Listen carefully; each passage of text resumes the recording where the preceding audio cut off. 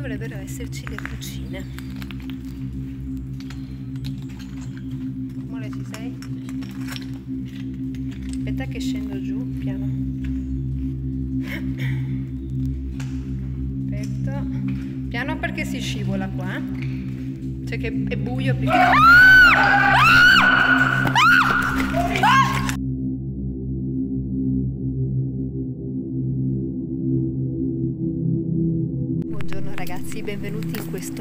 nuovo, nuovissimo video di esplorazioni urbane.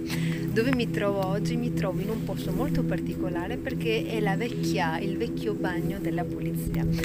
Qua, per quello che so io, era il luogo dove appunto i poliziotti con i loro parenti e la loro famiglia venivano a trascorrere appunto l'estate.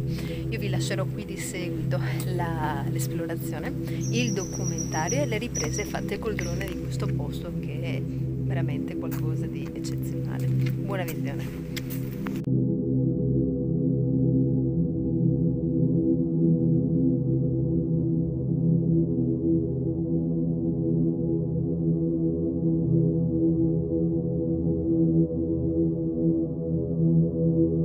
L'ex bagno della polizia era un luogo dimenticato, avvolto dal bosco e immerso in un'atmosfera di mistero. Gli alberi secolari si ergevano come guardiani silenziosi, le loro fronde creando un tetto naturale che filtrava la luce del sole, rendendo l'area intorno quasi magica. Il tempo sembrava essersi fermato lì, mentre la vegetazione reclamava lentamente ciò che l'uomo aveva abbandonato. L'edificio, una struttura di mattoni, si nascondeva tra la folta vegetazione, con le finestre rotte che sembravano occhi spenti, testimoni di un passato remoto. I muri, coperti di muschio, edera, raccontavano storie di un'epoca in cui quel luogo era vivo, animato da voci, rumori quotidiani. Ora invece regnava un silenzio inquietante, interrotto solo dal fruscio delle foglie e dal cinguettio degli uccelli.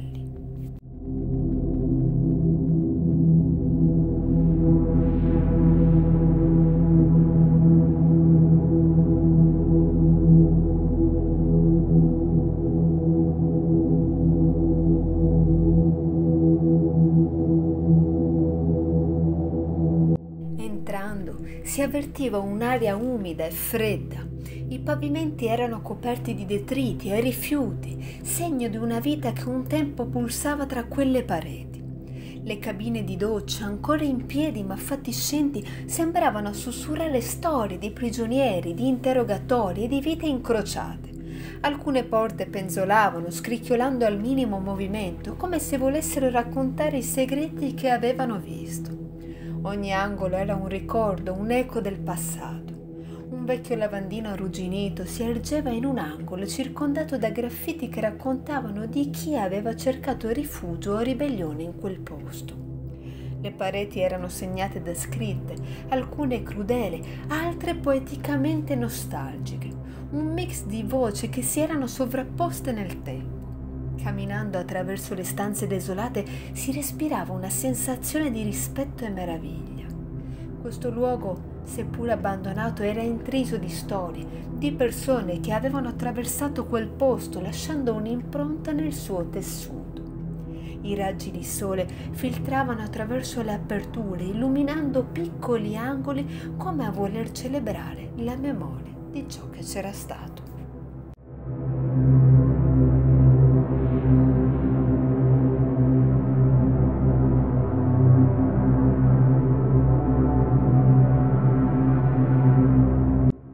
Nell'ex bagno della polizia una piscina abbandonata emergeva come un'ombra del passato, incastonata tra le mura decrepite. Le piastrelle blu ormai scrostate e coperte di muschio raccontavano di giorni in cui quel luogo era vibrante di vita e attività. L'acqua, un tempo cristallina, ora giaceva stagnante e opaca. La piscina era circondata da un'atmosfera di incertezza. Chi l'aveva utilizzata? Erano i poliziotti a rilassarsi dopo una lunga giornata di lavoro? Oppure era un luogo di detenzione temporanea, una sorta di punizione? I graffiti sui muri e i resti di oggetti sparsi intorno sollevavano domande, ma non offrivano risposte definitive. Ogni segno di vita sembrava nascere da una storia che rimaneva oscura.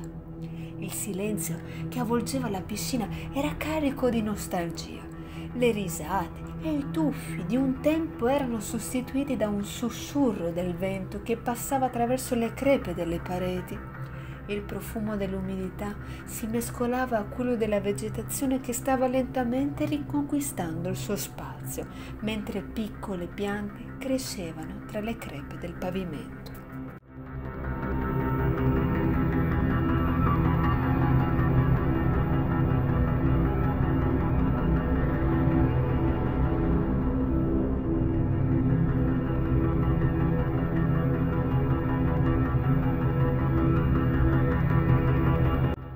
Entrando nella struttura dell'ex bagno, ci trovammo subito di fronte a un'atmosfera di abbandono e mistero. Le porte, in parte aperte, si affacciavano su stanze buie, illuminate solo dalla luce che filtrava attraverso le finestre rotte. Ogni passo sembrava risuonare nel silenzio, amplificando la nostra curiosità e inquietudine. Le travi di legno, visibilmente usurate dal tempo, scricchiolavano sotto il nostro peso, come se volessero avvisarci di fare attenzione.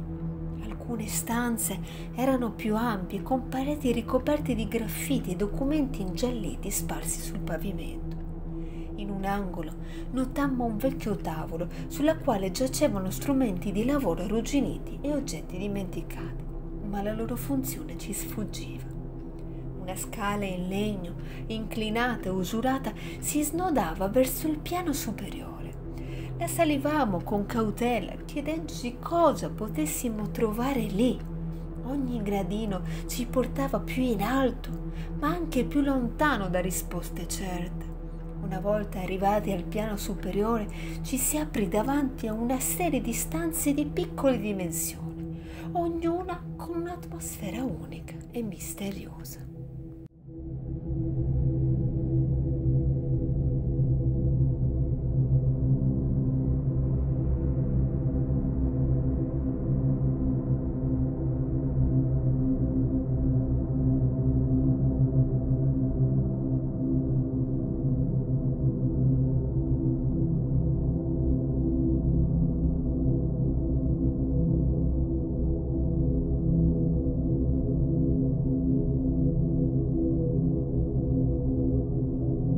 Guardate amici dove siamo in questo momento. Guardate che interni spettacolari. Mm. Guardate che roba. Spettacolare. Adesso vi riporterò qui di seguito anche le riprese che ho fatto col, con, eh, col drone perché sono veramente eccezionali. Le ho fatte da fuori e dopo le farò anche da dentro. Faremo volare un po' il drone qua dentro.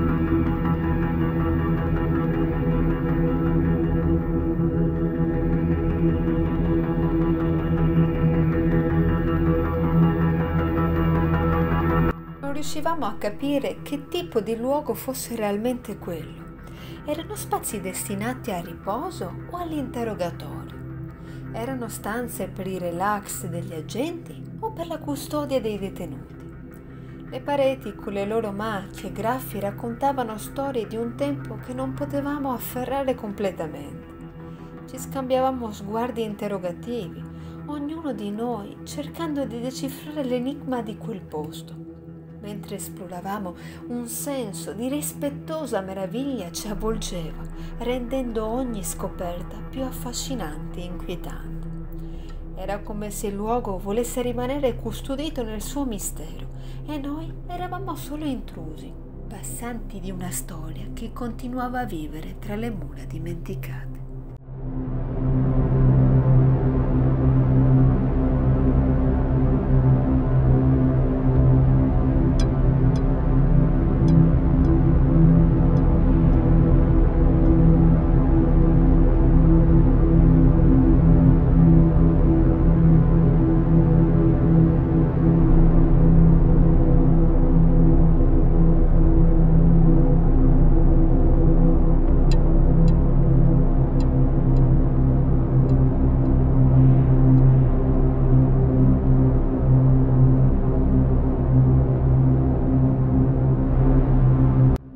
Continuando a salire le scale, ci sentivamo sempre più in alto, quasi sospesi tra il passato e il presente. Ogni gradino scricchiolante ci avvicinava al tetto piano dell'edificio. Finalmente, arrivati in cima, ci trovammo di fronte a un panorama inaspettato.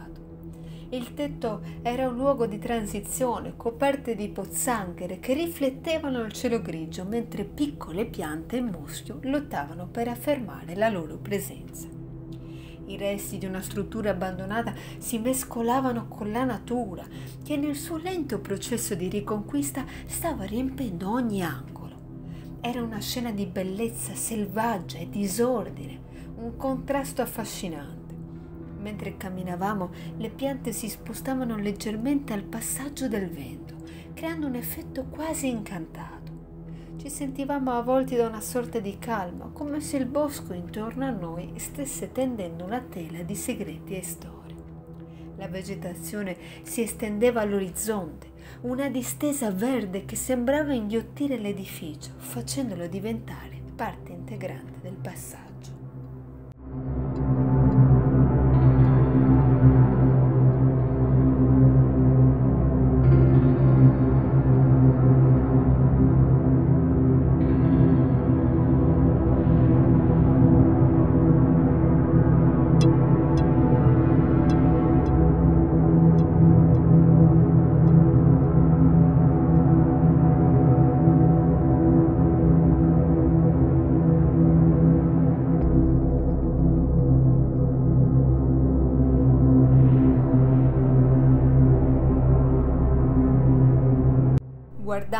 Oltre il bordo del tetto, il bosco si presentava in tutto il suo splendore.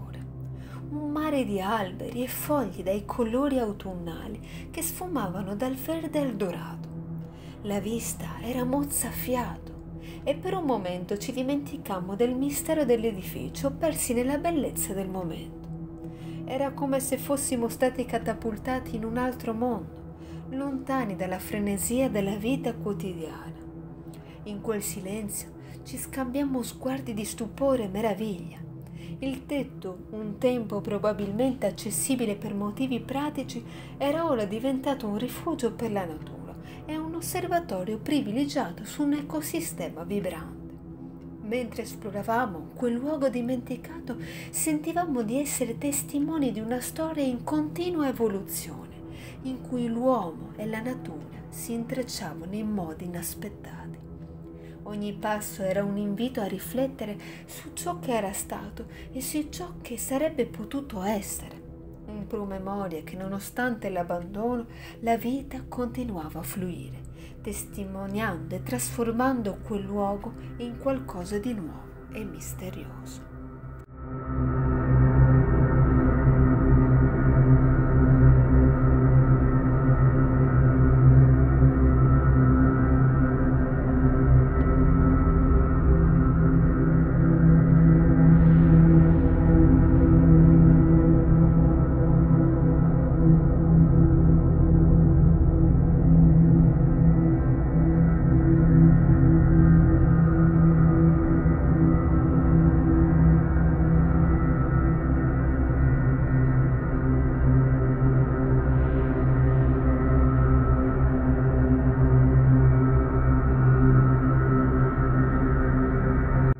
Mentre ci immergevamo nella bellezza del tetto e nel silenzio del bosco, un'improvvisa sensazione di disagio ci colpì.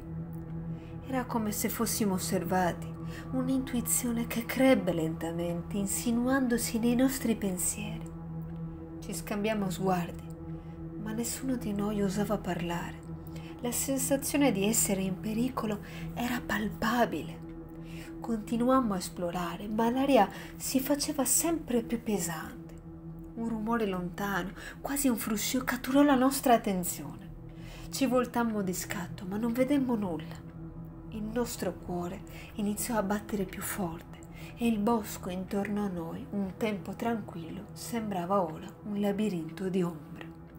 Decidemmo di scendere, ma mentre ci avviammo verso la scala il rumore si fece più vicino un lieve scricchiolio che sembrava seguire i nostri passi. Il panico ci assalì. Dobbiamo andare, sussurrai, mentre il mio sguardo cercava disperatamente un'uscita.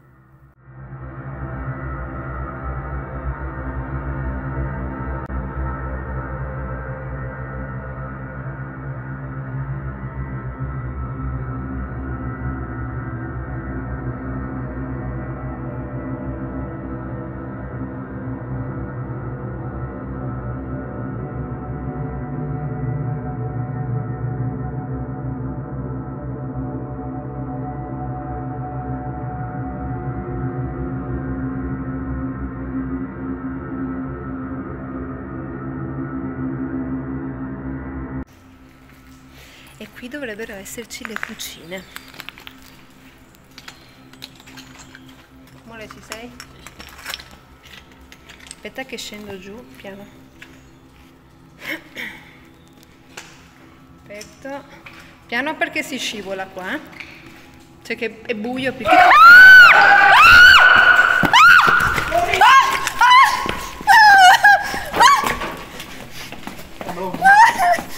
C'è qualcuno, c'è qualcuno.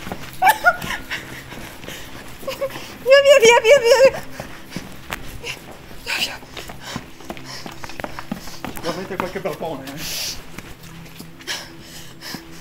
Ah.